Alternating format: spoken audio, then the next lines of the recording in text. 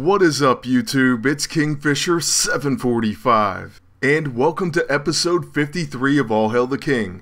In this episode, we have the Man of La Mancha, aka the runaway Victor Mancha. Now, you may have seen my previous PvP video of him, but this one has the team ups that I was really excited for. We're going to have the Master of Magnetism, the Mighty Thor, and Captain Marvel. But before we start, make sure you check out the From the Helicarrier podcast, and the corresponding link will be in the description below. So here we are with our first team up, and all I can say is it's really vicious. I decided to use Victor, Magneto, and the Quick and Powered ISO 8, then also the Thunderstrike and Magnetic Pulse Cannon. What we're going to do on our very first turn with Victor is use his level 2 AoE attack. For now we have the Ionizing AISO on it, so it causes static charge, magnetized, downgrade, and radiation exposure. Those debuffs will really get the ball rolling. They're going to help out Magneto, and also cause our agent, who is a protector, to counterattack with the Thunderstrike. Plus it's going to give us a Volt, so that our agent can use his Magnetic Pulse Cannon. And did I mention Chain Lightning, aka Static Charge? You'll be seeing a ton of that. In fact, there's our Thunderstrike counter, and it not only hits Null, it triggers static charge on all the enemies.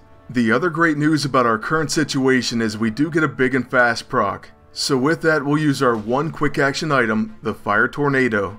Although I'll be honest with you, exhausting the enemies isn't quite as crucial as it once was. Still, it won't hurt against Null. Also, by the way, we're not quite as worried about Null's preemptive counter, because Ragnarokkum Sokkum isn't that vicious. It's certainly no Fatal Fist. Now you're about to see that pulse cannon in action, and it's stealthy, it's going to trigger static charge, and it has a chance to cause ozone, crackle, fried circuits, or even static charge itself. It's a pretty nasty AoE electric attack. The other bonus is, even if the enemy inexplicably manages to dodge, you still get that static charge proc. And after all that, the enemy team is severely crippled. Plus, they're going to take a discharge because of Crackle, and that's the end of the enemy agent. Next, with my agent, we unfortunately cannot use the weather control device.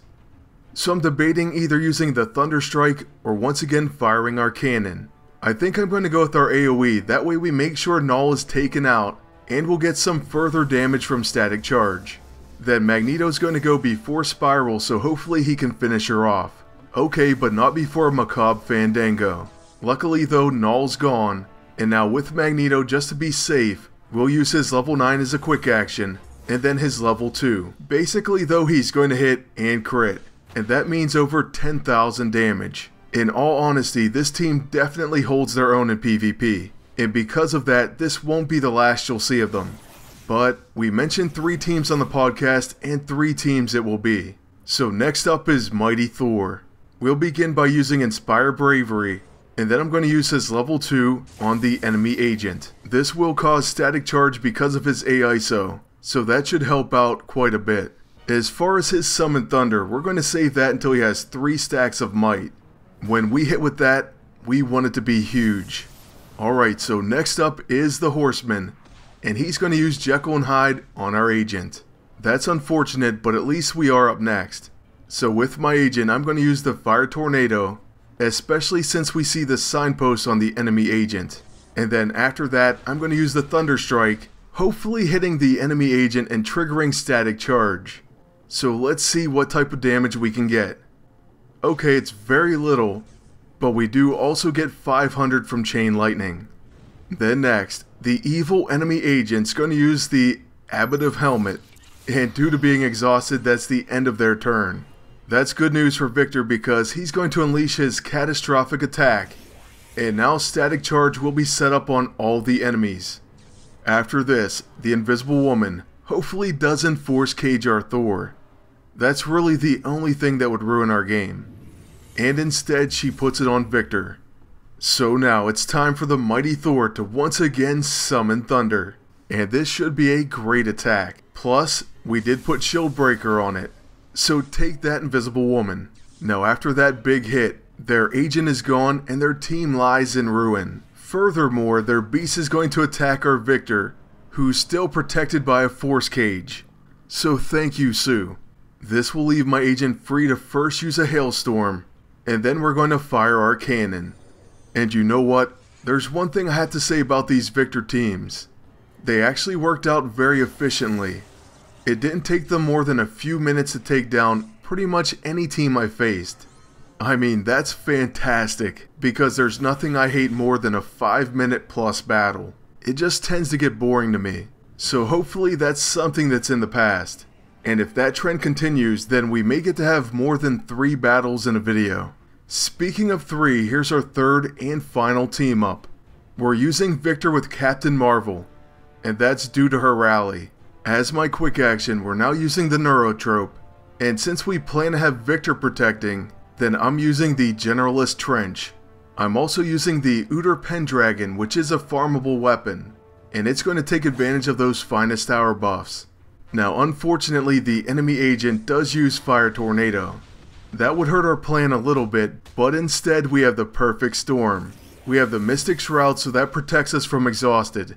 Then, because of our counterattacks, Captain Marvel's going to use her Photon Blast. That grants Victor Rally. The next buff action becomes a quick action. This means his level 6 Calculator Kid is now going to be a QA. A QA you say? That's right, it's going to be a quick action, and so he'll give himself Crackling Shield and Static Cling. With Static Cling, he'll protect and counter attacks made by enemies with Static Charge, and he'll have a guaranteed hit. Then since that was a quick action, we use Magnet Man, and that's going to place Static Charge on all the enemies. It works out perfectly.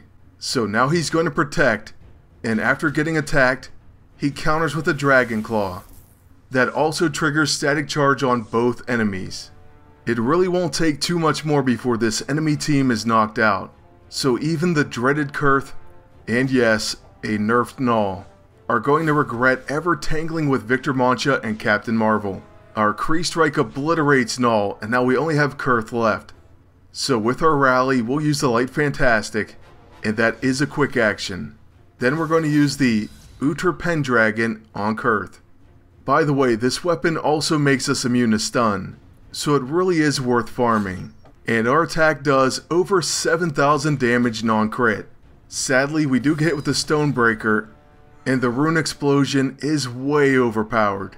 But now is Victor Mancha's time to shine. We're going to use his level 1, and we're going to get a pretty nice crit. So 8400 damage, and that's the end of the fight. It's also going to end this video, so I hope you enjoyed it, and I want to thank you all for watching. Please leave a like, comment, and subscribe. And until next time, good luck, and take care.